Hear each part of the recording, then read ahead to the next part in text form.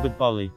In the mountains around Ubud, the guest houses, hotels, and villas share the village's peaceful atmosphere and focus on culture and art.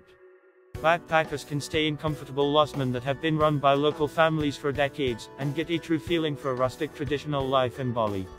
Chickens, playing children, and perhaps the odd monkey are included. Yoga retreats and other spiritually focused accommodation can also easily be found by the soul-seeking traveler.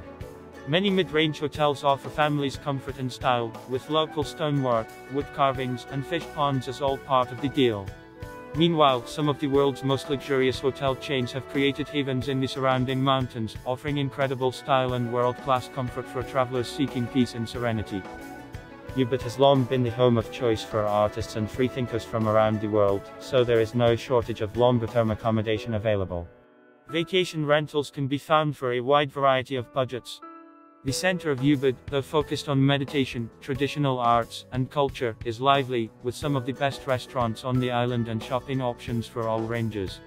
Families can enjoy plenty of activities among the rice fields and rivers in the area.